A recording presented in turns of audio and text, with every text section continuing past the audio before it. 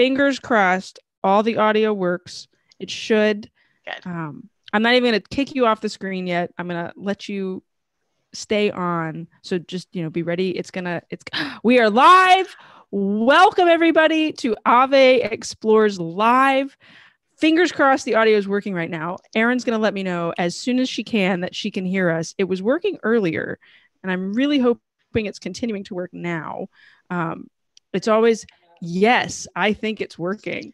Um, so, everybody, we are here. We are back for episode two of our Ave Explores Live on the Saints. We are joined tonight by a dear friend, Bonnie Engstrom. Um, I'll introduce you to her in just a minute.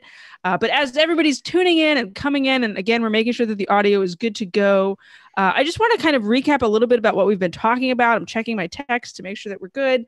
Uh, you know, we're doing this series on the saints, on the holy men and women of the church, our holy cheerleaders, our friends. We have an episode on our podcast tomorrow with Meg Hunter Kilmer. She's kind of known as the Saint Ninja in the Catholic world. Um, and Erin says she can hear us. We are good. Uh, so, but Meg said something in tomorrow's podcast that I wanted to make sure I brought up tonight, not just to encourage you to listen to that, but um, to just kind of give us a preview of what we're going to talk about this evening. And that is that the saints often find us and that even if like we've got our favorites or we've got the ones that we know the stories of or the ones that are really famous and popular and quoted all the time that there are holy men and women who are are out to find us and to bring us closer to Jesus Christ. And tonight we're going to hear the amazing story of a holy man who found a family and helped a family and, and really essentially like, you know, on on behalf of his prayers really brought a family not only closer to her but uh, closer to him, excuse me, closer to Christ, but a lot of people closer to Christ. The story is a really powerful one that shows conversion, that shows healing, um, that shows holiness and the pursuit of holiness. Uh, as as always, just as a reminder, the Ave Explores series, everything is available on AveMariaPress.com. You can sign up for the podcast. These videos are all backlogged there, all the way back to our series on social justice, the one that we did on Catholic family life. There's tons of awesome content sitting there for you. The podcast available on Apple Podcasts, Google Play, and Spotify. All the articles. We have a great article tomorrow with Jen Norton that you should totally read. So everything's available on Ave Maria Press. Tonight, we are joined by Bonnie Engstrom. She is a wife and a mom. She's got eight wonderful kids. Her husband is a science teacher. So we're kindred spirits because our husbands are teaching science and we like to write about Jesus. She's a writer for Blessed is She. Uh, she's an author and a speaker. She's a baker. You should follow her on Instagram and watch all of her baking videos. I only know how to make a pie crust because of Bonnie, because I watched that video like 10 times to figure out how to do it properly. Um, really? She, oh, yeah. Oh, yeah. I haven't baked so in a happy. while because of, you know, everything, but I'm ready to get back to it. So tonight we have with us Bonnie Engstrom. Bonnie, thanks for joining us. Thank you so much for having me. I am delighted to know about oh, the yeah. baking. Well, I had never, so side, we're not even going to talk about Saints at first. Let's talk about baking in Crisco. yeah. I had been using butter and none of my crusts were good. And then I discovered the giant can of Crisco because of your video. Screenshotted what you posted Mm-hmm. The the you know the old recipe from the box. I have it saved in my favorites on my phone. And when people ask me, "Oh, what's your recipe?" That's what I just send them. I was like, "This is from Bonnie. Go watch her videos, and you'll learn how to do lattice." so thank you. Um, not only do you have an incredible story to tell us tonight, but you taught me how to bake through That's the internet. So um, oh, I'm so happy about that. Thank yeah. You. So, Bonnie, tell us a little bit about yourself besides the fact that you're a baker and a wife and a mom. Where are you? What are you doing? And uh, maybe what was the best thing that happened to you today? Okay, so I live in central Illinois. I'm in the Diocese of Peoria, and um, that's where I am. What and really what you said i'm a i'm a stay-at-home mom who sometimes writes and sometimes speaks and um, sometimes i get to travel the country giving talks. Uh, but mostly lately, I've just been a stay at home mom, uh, baking during quarantine, like every, everyone like else. everybody else. Yeah. Yes. Except I, I have failed at sourdough. Like I can't do sourdough. No one in my family even likes it. So I've just moved past that. But um, I think the best thing that happened today was I got to take all of my all of my kids to school. Hey, praise um, Jesus for that. yes. Um, we, my husband had COVID three weeks ago. And so we just got out of quarantine. And um, man, oh man, like they were ready to be back.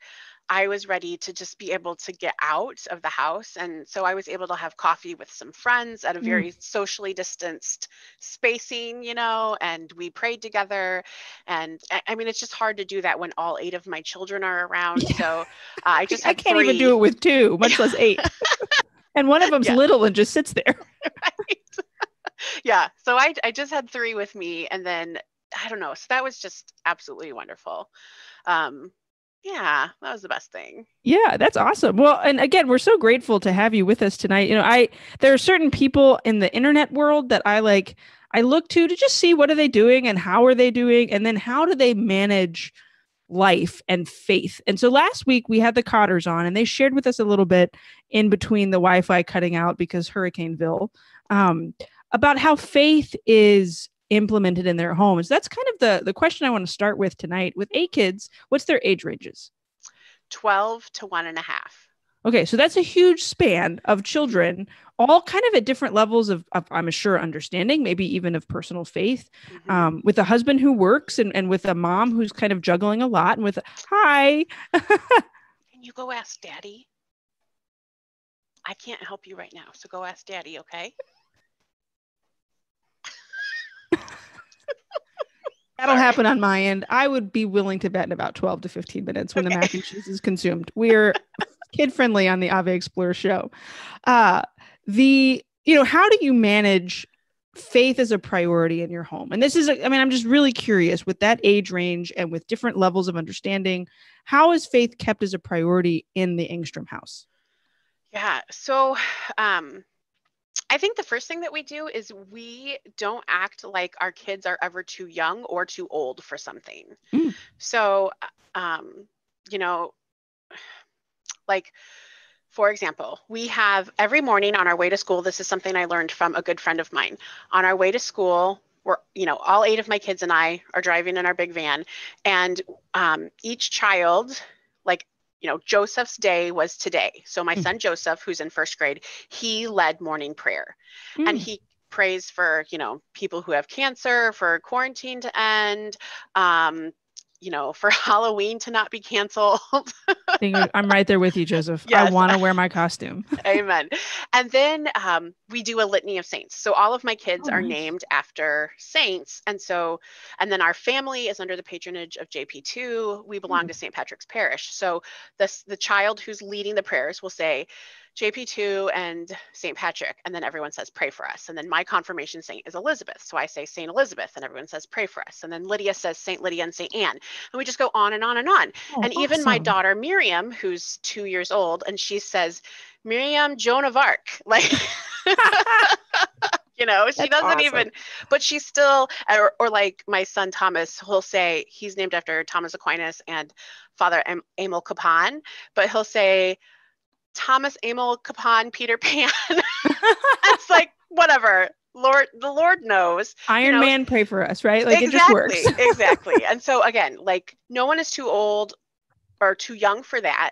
And then even like when we get out the little nativity set at Christmas time, like the little Tikes one or whatever it is, Mhm. the little, you do know what I mean? Yeah, the little Like, people one. Yeah. Yes, yes, little people. It's obviously a children's toy, but like even my 12 year old will sit down and play with it, you know, and Mhm. arrange it or whatever. And so I don't know. I just think there's, if we're supposed to be childlike, um, but we're also supposed to really know our faith, then I, f- I feel like we have to kind of keep both of those things balanced Yeah. and and alive. So I don't know.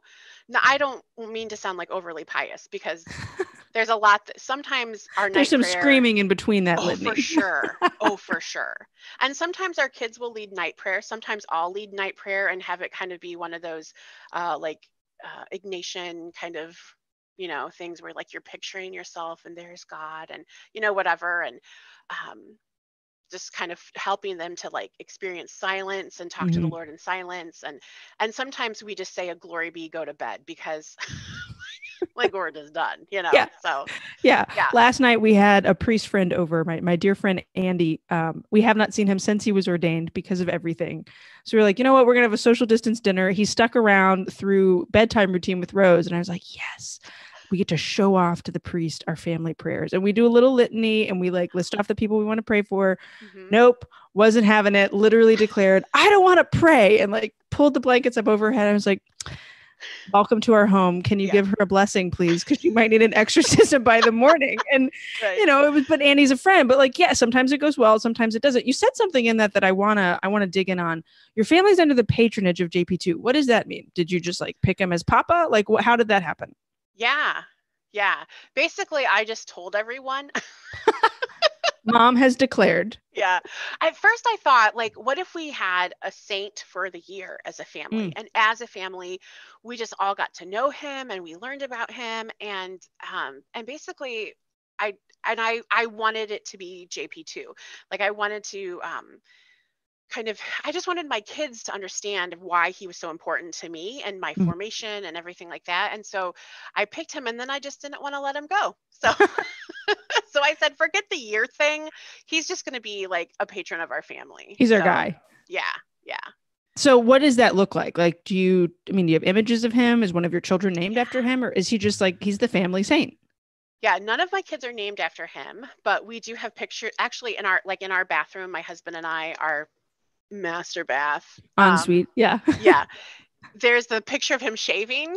Oh, nice. You know, you know yeah. Oh, yeah. I know that picture. Yeah. So I have that framed in our bathroom. Um, and we have a couple of other images. And then a lot of it is just like, you know, we celebrate his feast day, which mm-hmm. just happened. And, yeah. um, and then just asking for his intercession on a regular basis. But, mm-hmm. uh, but like we have children's books. There's that really cute, um, that I'm yeah. forgetting. Lolek. yeah. Yes. Yeah. Um, so we have like that children's book and a couple other things, and just talking about him and using him as an example. Um, I have found, especially my two oldest boys are 10 and 11, and as they become more active um, and more, you know, they're not little boys anymore, mm-hmm. and so they need to know that there are men um, who were like rugged and outdoorsy and strong and and they loved Jesus, you know? Mm-hmm. And so a young JP2, that's exactly who he was, you know, mm-hmm. out camping and hiking and um, you know, Pier Giorgio is another good one for that. Um, but yeah, so that's kind of how we do it.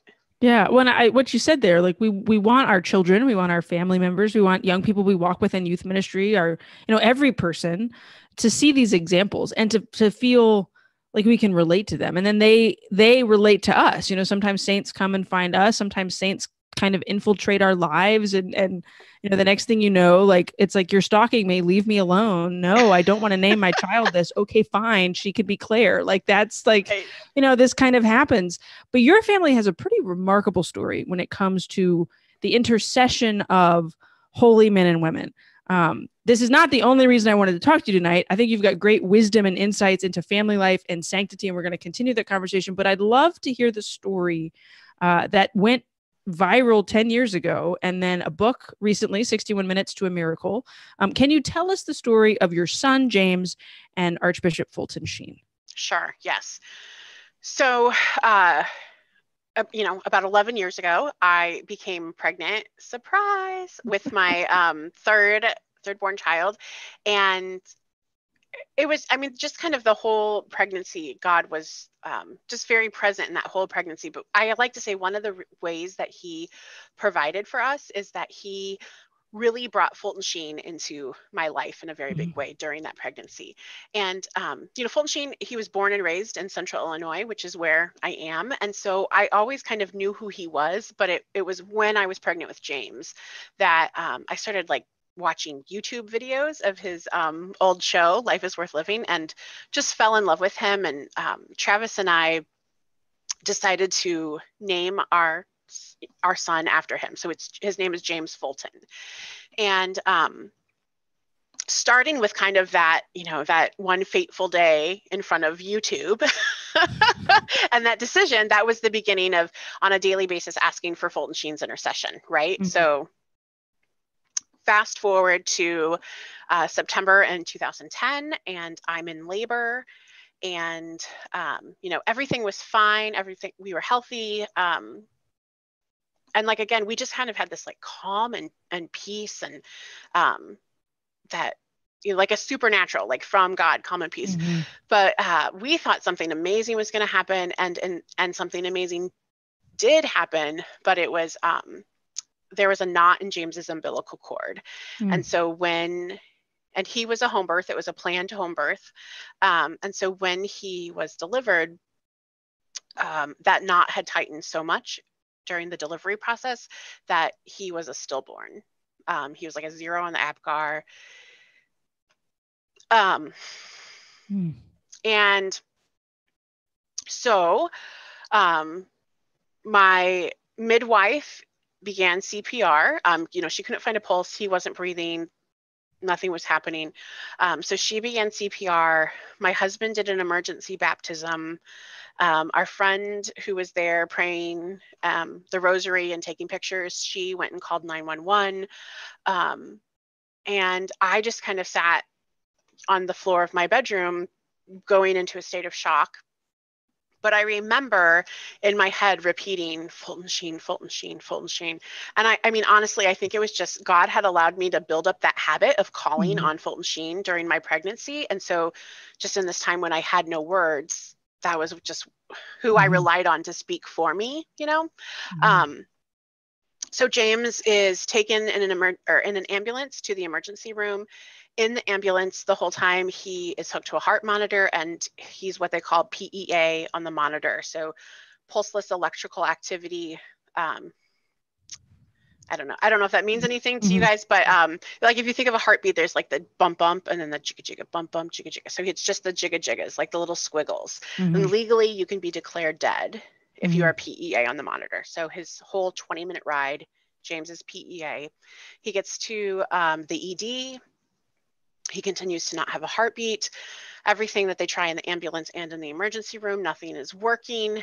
And so uh, the neo, there's a neonatologist who is you know present and helping and she says okay we're going to try for five more minutes and then we're going to call it. And you know nothing happens. Um, five minutes are up. Everyone takes their hands off to call time of death. And it was at that moment that james's heart started to beat again it shot right up to 147 beats per minute which is a healthy heart rate for a newborn baby Mhm. it never stopped again. And altogether, James had been dead for 61 minutes from delivery to that moment in the in the emergency room. He'd been dead for over an hour. Mhm. So, um, you know, what was, you know, he was stabilized and taken to the NICU, and he ended up spending seven weeks there. And at the beginning of those seven weeks, they, th- you know, they expected massive organ failure. Um, and in fact, you know, the doctors even told the hospital chaplain, and the hospital chaplain confirmed James um, because you know, that was just Mhm. and they only knew that he had been in their emergency room for about 20 minutes and based on that time frame they expected massive organ failure. So once we like added everything up a couple days when james was a couple days old it was kind of like that's that can't be right. He should be dead you know when you get to that. But um he lived and then they told us he would just have this very long list of severe disabilities and he just kept getting better. And this whole time i'm using my blog and i'm using facebook asking for people all around the world to pray for my son and um, through the intercession of fulton sheen and they do yeah, I was one of them. I saw that Facebook post in college. that's incredible Yeah. you know i've never thought about how it went viral Oh yeah, it was Catholic viral, and like that's when blogs and Facebook were the thing. Not even Twitter and Instagram. right So I can only imagine had it been like today. Um, but yeah, I remember having a conversation with a friend saying this woman's asking for prayers for her little boy who was born dead, so we need to pray, um, like distinctly. And then when the book arrived, I was like, I I remember this. So yeah, so so people all over the world, including Yeah. this conversation, which was preordained from the beginning of time because God's outside of time. beautiful So keep going. You're asking Yes. everybody to to pray. Yes. And so, and people did. It was just incredible. It was absolutely incredible. And, you know, James spent seven weeks in the NICU. Um, he's discharged, comes home, and he starts hitting his milestones. Um, and but so in the in the um, NICU in those first like 24 hours, they had done an MRI, which showed that he had extensive brain damage. Mhm. And when we were home, there was a follow-up MRI and I remember we got the we got the results from the follow-up MRI the week of Christmas. It was like 3 days before Christmas, I think. And um it showed a perfectly normal healthy brain. Mm. And so um once we had that and then just also the lived proof, you know, like he's sitting up he's using his pincher fingers and he's doing all these things when he should Mhm. be doing them um, we called the sheen foundation and let them know that a, a miracle had happened. We thought they might want to like put it in a file somewhere. Yeah. Write it down. right? Yes. And um, they decided to uh, do a full tribunal and investigate it. And the uh, that um, positio the the um, which is kind of the compilation of his medical records and witness testimony and everything that was submitted to the congregation for the causes of saints and in uh, well a year i guess maybe a year ago no Mhm. yeah 2020. Yes, yeah. In June 2019, it was approved by Pope Francis for Wow. Fulton Sheen's beatification. Wow. So, So let's okay. I really can we get in the weeds on this because like Yeah. this is fascinating to me and you know I used to teach high school theology so like I can imagine students would have a thousand questions of like okay so there's this file that's compiled of all these different medical testimonies. Do they just like call the ER doctor and be like okay buddy we need you to come down and get an interview like what does that all look like? yeah. So the first thing that had to happen was I had to, um, Travis and I both had to sign releases so Mhm. that we could even like we had to give their, those names and permission for those doctors and nurses to even acknowledge Right, right, HIPAA, all that, that right. stuff. Yeah. Yes. So, um, and then they were invited by uh, the Peoria Diocese and the Sheen Foundation to come in for an interview. And so, Mhm. over the course of, I mean, I mean, maybe it was like a week, but every witness. So there was like my pastor and some friends, um, and then you know doctors and nurses, um, Travis and myself. We're all asked the same I don't even remember how many questions, if there was like 150 or something like that. And and all of it is to um, filter down to to get to the truth of did a miracle happen and did it Mhm. happen through Fulton Sheen's intercession? Mhm. So uh, there was the there was a canon lawyer. Um, there was a doctor who was sitting. Um, he's he's also part of the Sheen Foundation, but um, he was just a medical doctor to to ask clarifying questions Mhm. you know, kind of. Oh my goodness. So, uh, and it was interesting because, um, you know, some of the some of the people on staff um, at the hospital are Catholic. Some of them are not Catholic. Some of them aren't even Christians. And Mhm. but all of you know, everyone had. There was a, a Baptist nurse who she took care of. She took such good care of James. It was beautiful. And um, I asked her if she would give her testimony, and she was just like, I don't know. That's a different team. Yeah. yes, yes, and in, and in the end, she did. She said, you know, I don't, I don't agree with a lot of what the Catholic Church teaches, but I do believe that Jesus Christ performed a miracle with your son, and so I'm going to share my testimony Mm. to that. You know, so was there so you're going through this process i mean that's a, it took a long time it was nine years you have a little boy on your hands you had other kids while all this is going on what was going through you and travis's mind like how was your family handling this like you you almost were like sitting on this big secret because i know like right we had a, a podcast episode with um the the second vice postulator for the cause for father patrick peyton and they can't like give any details Yeah. about the miracles like it is a big hush hush secret so like Right. you're holding on to this huge secret how what, what was going on in your heart so it was very different in our situation because I was a mommy blogger and yeah my yeah miracle had been public from the very beginning. Like I was just sharing, you know, so you couldn't just like swallow that back in. right sorry everyone never mind right. Didn't exactly. happen. exactly. And um and and they always said like so the diocese it was kind of funny because you know, I live 20 minutes from Peoria where my bishop Mm-hmm. is, right? Um I know people and people people know me and because it's a small Catholic world or whatever. So like in the in our Catholic diocesan paper it would say the miracle is of an infant who is and everyone's reading and they're like that's Bonnie Engstrom. you yeah know? yeah that's james yes, everyone knows who it is. And so I had permission to talk about it in part Okay. because I had already spoken about it, but Right. also because um, you know, it was my story. Mhm. But they did not release James's name until the miracle was approved by the Pope. Mm, mm. So Yeah. yeah, to kind of protect him. And then the book was published not long after, which tells this story Right. in detail. right. Yeah. Yeah. So, what was that day like? Did, does the Pope call your house? Does he have your cell phone number? How did you find Oh out? my goodness. I wish. Um, how did I find out? I don't even know. Like a tweet? A, a, a tweet? It was just. It was on the Twitter. You know what? I think it was. I think because this of is course. what this is what happened. This is exactly what happened. Um the diocese knew and what they always and like they found out on Rome time, right? Right. So I was fast asleep when they got the phone call and they sent me an email which I don't have I mean, Even like printed out and framed in the kitchen.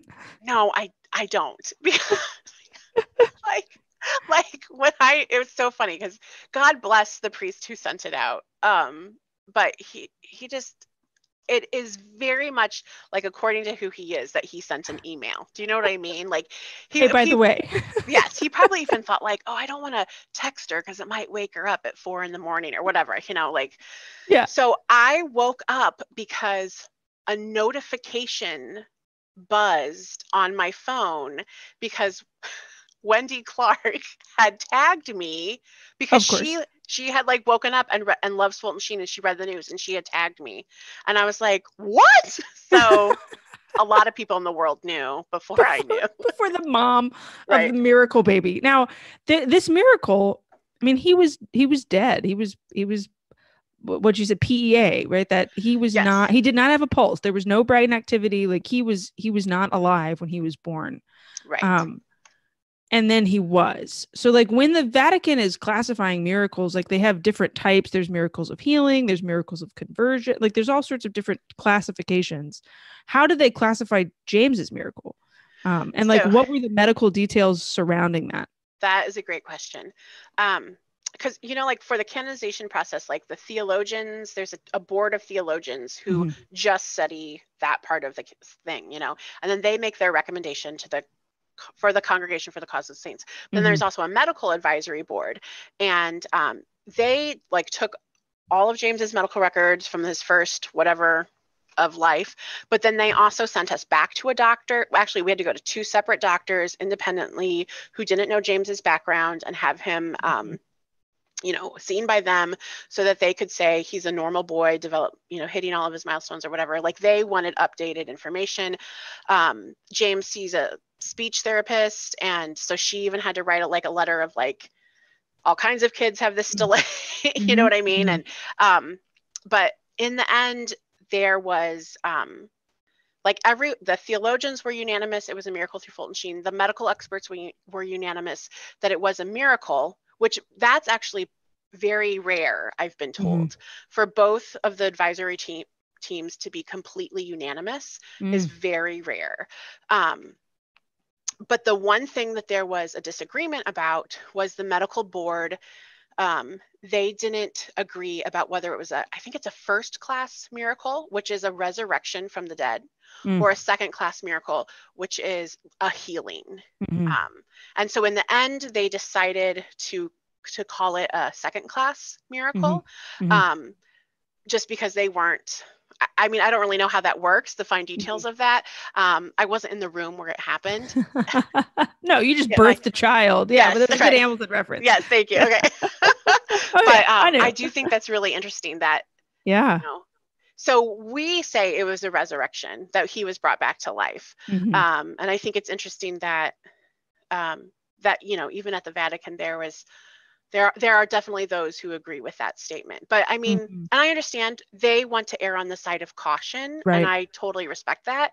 Um, but I held my dead son in my hands. Yeah. I mean, you yeah. know? So I that so I want to I guess and before I ask this question, I just want to encourage folks that are watching if you have questions for Bonnie, we have her. Put them in the chat, uh, put them in the comments, and we will ask them for you.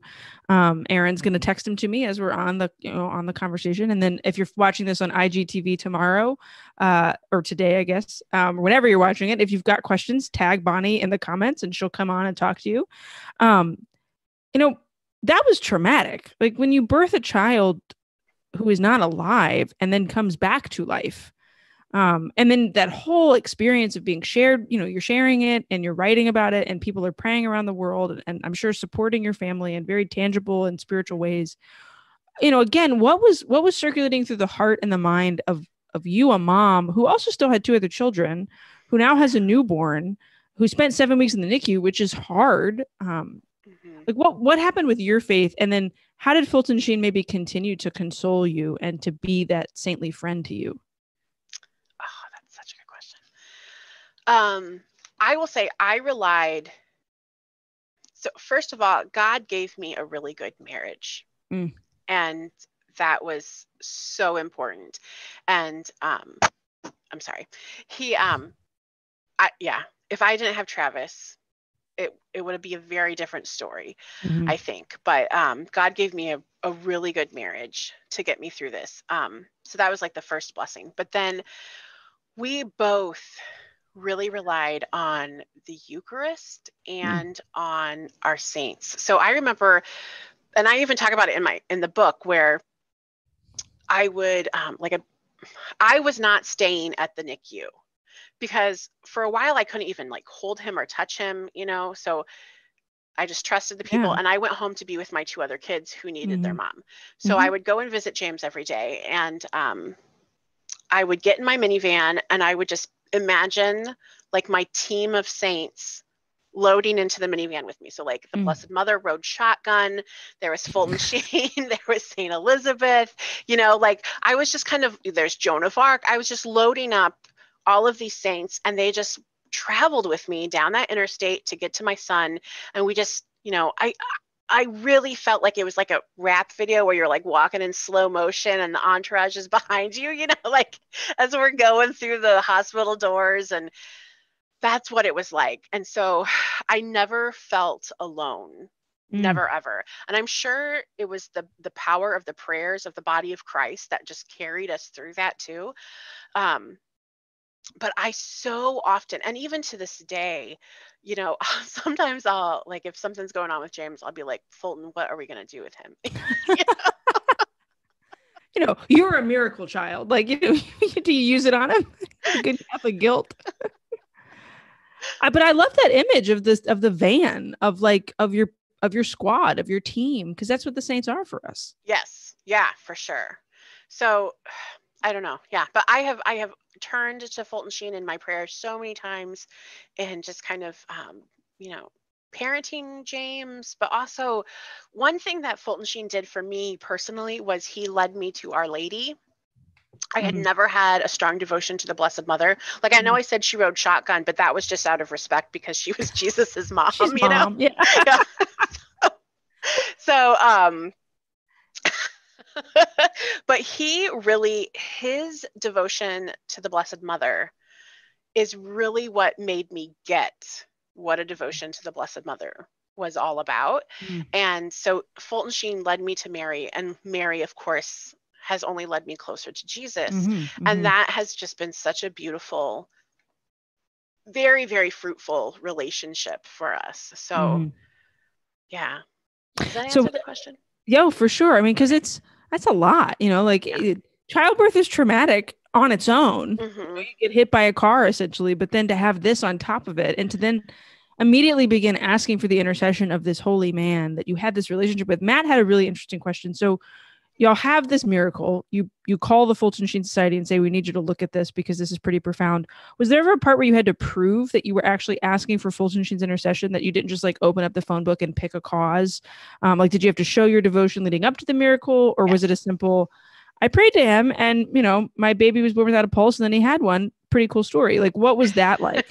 yes. So we did. That's a great question. Um we actually had uh a friend who part of the she was a witness an official witness in the tribunal and part of the reason she was called in was to talk about like i know bonnie had a growing devotion to fulton sheen mm. i mm. knew that you know she was asking for his intercession during the pregnancy and everything um, and then and then even that we had multiple questions about that as part of the um, the interviews, the witness interviews, that Travis and I both had to explain. Like, yes, we knew we were going to name our son after Fulton Sheen. That's right, the name. Yeah. Yes. So, uh, and that because a lot of people thought maybe we had added that Yeah. afterwards, but it was always part of. It was always going to be James Fulton. Um, Another So- reason why you should tell people the baby name well in advance and find out the gender, right? to prove a miracle down the line. yeah, that's right. That's right. Um, oh golly, what else was that? I feel like there's another question that he had. Um, So, like, was it, you know, you had to prove that you were asking for intercession and that you were showing your devotion. Yeah. yes. So the other cool thing is because I was doing it on a blog. If Oh, you yeah. If you go to um, my website, bonnieengstrom.com, and go to the blog and um, go all the way back to September 16th, 2010, which is Mm. James's birthday, you'll read the summary of what happened. And at the end, I say, if a miracle happens, we'll attribute it to Fulton Sheen. Mm. And I was just speaking Yeah. complete, I mean, Yeah. I didn't know what I was saying at all. Yeah, I was yeah. so naive, you know, and I was in a state of shock and I was exhausted and whatever. But um, I mean, I really did mean that, you know, and and from that day, people started using that prayer. Mhm. But for the official, like as far as the Vatican was concerned, they only looked at the 61 minutes when James was dead. Mm, mhm. So, and during that time, the whole world doesn't know. It's a very small group of people. And all of those people were interviewed, and all of those people said, I prayed to um, Jesus, I prayed to God the Father, I prayed to the Holy Spirit, which, you know, 3 Mhm. in one. Or I prayed to Fulton Sheen in my head when I said his name. Travis invoked his name during the baptism. And our friend Jenny, who was there, and she's the one who called 911, she had um, just as soon as she heard James's name in the baptism, James Fulton, she had just this incredible um, sense of Fulton Sheen's presence, and she had a vision of Fulton Sheen. And Mm. so those were the three prayers that were um, really investigated and attributed to Fulton Sheen for the miracle. So It's just all so cool. I mean, it's so Catholic and so just awesome to think about, you know, this moment in human history that that a saint is able to then influence through his prayers, like bringing the, which then gives verifiable proof in the tangible world of his being in the presence of God. And so then now for all of eternity, uh, you know, his story will be told. Your son's name will be referenced as the baby who was saved by the prayers of this holy man who lived, you know, in the United States and was this apostle of television and and and which you know such a profound preacher that we can actually we know the name we know his voice. Saints Yeah. whose voices you can hear are my favorite Yeah. because you know like you can feel them talking like i play thea bowman's speech to the bishops frequently because it it's just like it's i i need a pep talk and she's kind of you know she's my spiritual friend and and she can give me that pep talk um i guess though and i'll i'll play the the role of devil's advocate for a second some people are going to hear this kind of stuff or some people are going to read the book or hear the story and be like i don't believe that um or you know that's inside baseball the church is just trying to do it to make themselves look good. So all these people are lying. Obviously, we know that that's not true, but some people really do struggle to believe this element and this aspect. What w- what would be your words of encouragement for anybody, I guess, that's struggling to believe all this, but who have a hard time accepting this aspect of our faith, or who who think, well, I can just go to Jesus. I don't need to talk to the saints. That's praying to the dead. That's idolization. I don't need their pictures in my house. What's what's your response to that? so my response to that part, to the relationship with the saint part, is okay. Missing Um, out. Um yes you are missing out and and i understand kind of the trepidation because i've experienced that before um myself you know i had to get Mhm. to this point in my life of really embracing it but um i i have been blessed to have really wonderful especially women in my life um, who have befriended me who have mentored me who Mhm. have taught me how to read scripture, how to make scripture come alive, how to enter into it, how to pray in a way that is um, just more than just the the rote, you know, Mhm. Lord Jesus, hear my prayer, whatever, you know. Dear God, we just, you know, whatever that Yeah. whatever that rote prayer looks like. But um I believe that the Lord is not the God of you know, he's the God of the living, not the God of the dead. And that mm-hmm. when we die, we are fully alive.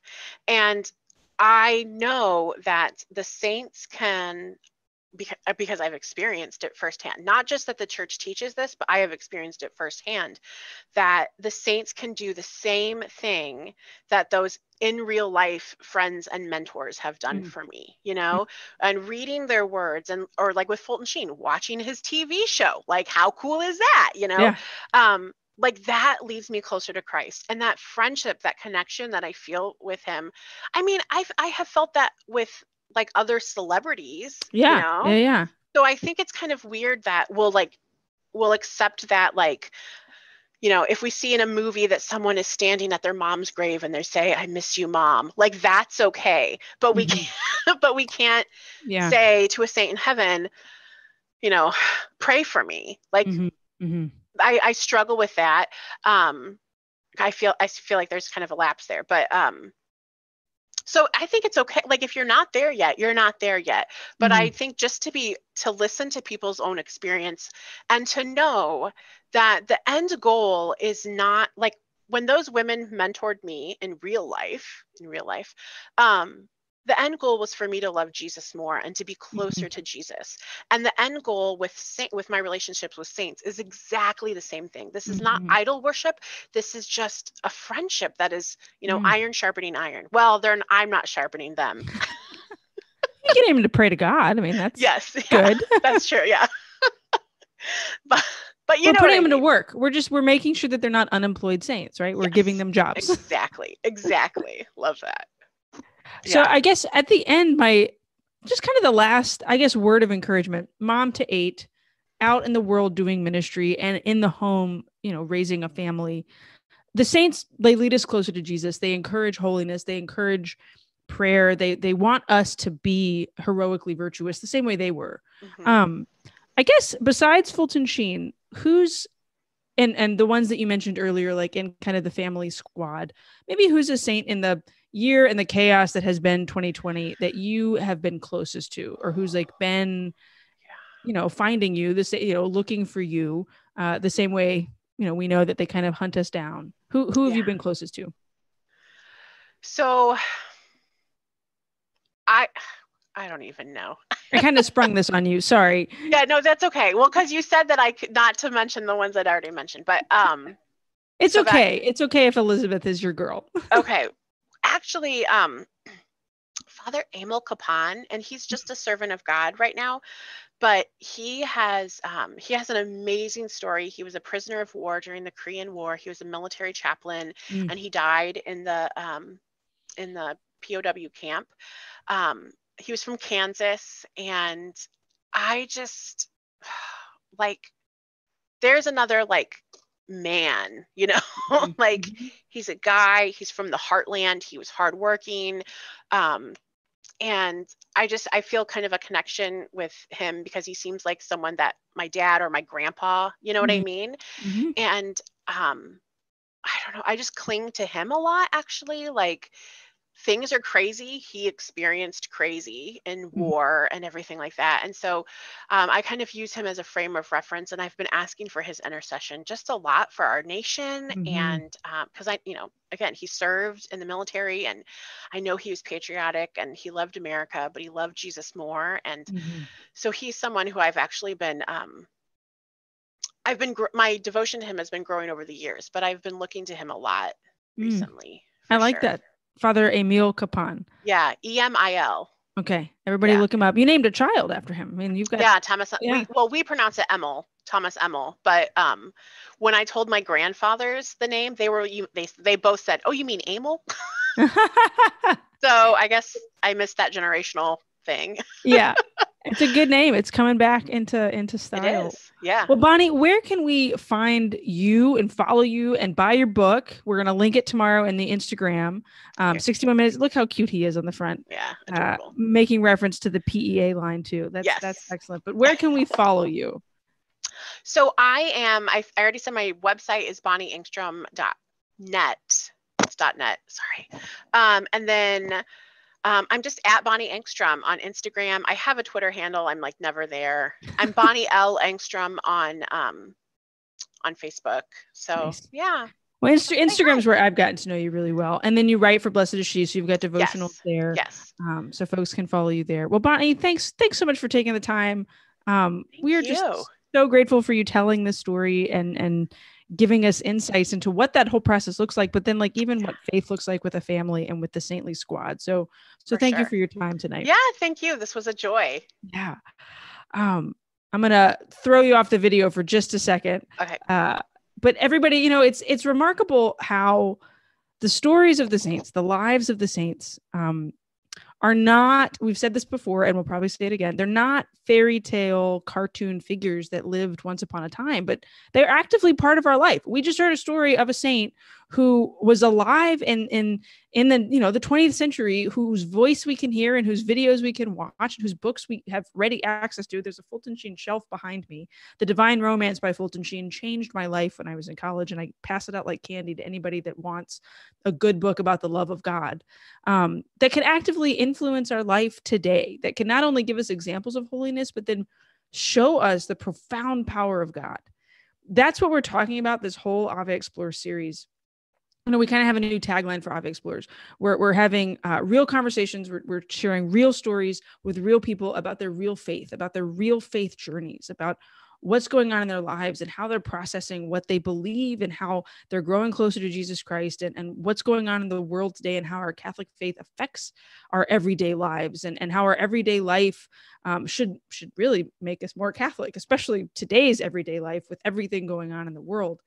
I think the stories of the saints can be an anchor for us. And all the content we're creating from the articles and the videos, the lives, the podcasts, the special social media content, um, that can help us be holier and be saints ourselves. Tomorrow we have a podcast episode with Meg Hunter Kilmer, like I mentioned earlier, the, the Saint Ninja. She talks about her new book, Saints Around the World, and tells us the story of some really incredible saints, some of which you've probably never heard of. And that's kind of her her skill is she's able to introduce you to new saints.